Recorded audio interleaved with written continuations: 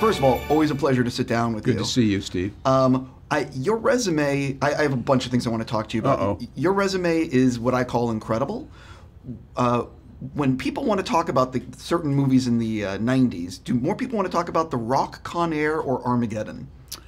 Uh, I think all of the above. They really do. The Rock is a favorite. A lot of people. Armageddon is fantastic. Then they talk about Pearl Harbor. They, I mean, a lot of my Michael Bay films that I've been lucky enough to work with him on are topics of conversations no matter where I go. Well, the thing about those is like that was a run of like every year. One of these, it was just, it was just a crazy run. And also, Right. I mean, some of these are Criterion movies now too. Did you ever think when you were making Armageddon it was going to be a Criterion movie? Never, never. You know, I, it was just fun entertainment, and we got really lucky to get Bruce and Michael together, and they they hit it off. They made a terrific film. I agree with that statement. Um, jumping into why I get to talk to you today, uh, this has been a project that's been in, I call, well, what everyone says, development hell for forever. Uh, at what point, and how many years ago did you realize we are now on the precipice of what the technology can finally do? Well, I think over the last three, four years, you finally could see when you saw some of the de aging that they were doing that it's possible. But Ang didn't want to do de aging. He wanted to create a whole digital human being, which he did, based on will. And I- I was always skeptical. Ang wasn't even sure himself he could pull it off, but he's a very confident man until we did a test. Before we started to film, we did a test. We took a scene uh, from Bad Boys in the car where the two guys are talking to each other. So you have Martin talking to Will. And what they did, one of the shots of Will, while they're talking, they put a digital Will in there. And the rest of the scene is a real Will. I could not find the digital Will. And I said, I knew we had it. They showed that test today, this Yeah, morning, before we did this junket. right. And it was after they said one of those shots was a digital will. And I Yeah. said, What the hell are you talking about? I used a different word, but I'm, I'm trying to be PG in this one. Right. But I couldn't believe it.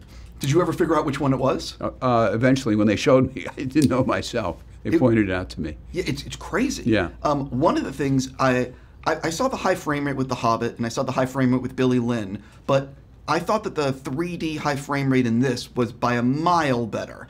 Just it looked fantastic. Um, what what was is there like a hurdle that all of a sudden was overcome, or just my eyes have gotten used to it? No, it's it's it's Ang. It's it's learning from Billy Lynn and watching The Hobbit and seeing how he could make everything better. And he figured it out. He knew you couldn't wear any makeup. He knew all these. Every little thing shows. You have to be so careful what people are wearing, what's in the background. Every little dot on somebody's face will show up. So it takes a long time and to to make sure everything's perfect before we start filming. One of the things I thought with with with The Hobbit was that you could tell that people were on a soundstage.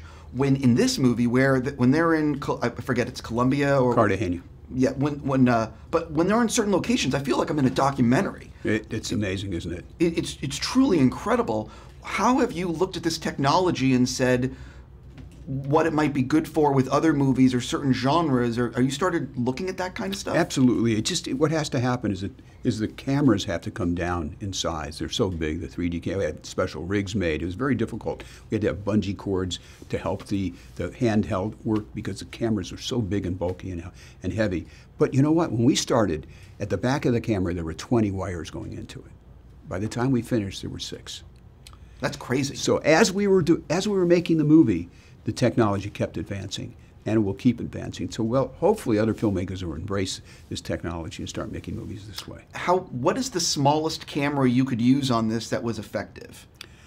I I would well, it depends. If it was the 3D rig, it was about this big, Okay, so that's not terrible. but normally it was this big. Right. No, I'm just trying to think because I think that, you know, documentaries using this 3D high frame rate, I mean, that's the future. Oh, no kidding. It's, and I'm just wondering what. Well, that would be easier because the, usually the, the, the individual is stationary. So it, it'd be much different unless you're a documentary or following somebody around. But it still can be done. It's going to be, it, it will happen. Uh, I'm always curious about the editing room because Right. that's the final rewrite. What did you learn when you got in the editing room, maybe that you weren't expecting, uh, and what made you like excited? Well, I think anytime you use digital, a digital world, anytime the visual effects start coming in, because usually you're working with a stuntman or a double or something else, and when they started putting in the real Will and the digital Will, it was spectacular. So before we were just watching the movie with Will playing Junior with a head head rig on until they replaced it. So when, as it started evolving and you start getting more shots of Junior, that was great.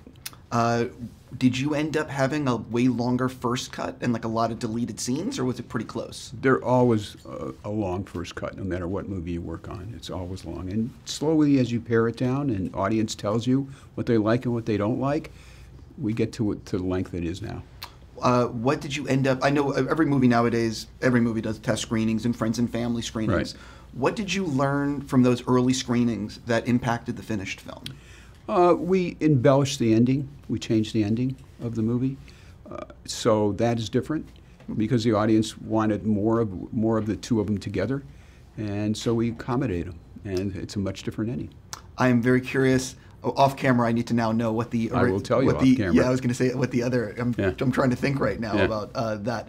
Um, before I run out of time, uh, the other day I actually sat down with Eddie Murphy, and he told me that after coming to America too, he's doing Beverly Hills Cop 4. God bless him. Right. He's always wanted to do it. It's just Right. we could never get anybody else to do it with him.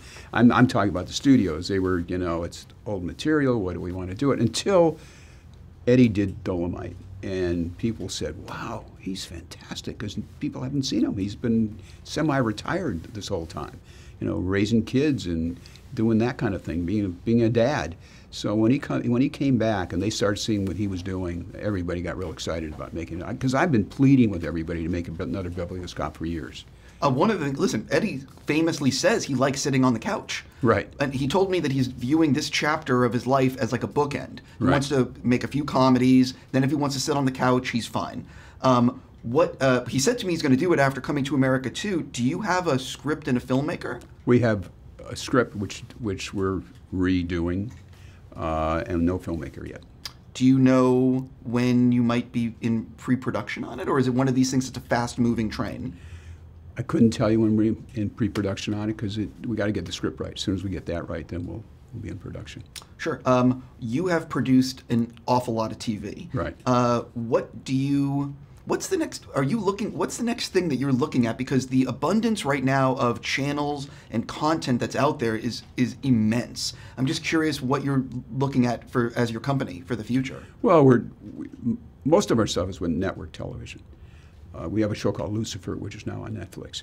So we're kind of moving a little bit into streaming. We're still going to do still do network because we love network television, and we're going to do something for Quibi. So we're gonna, we're expanding in all the forms of, of digital enter- entertainment.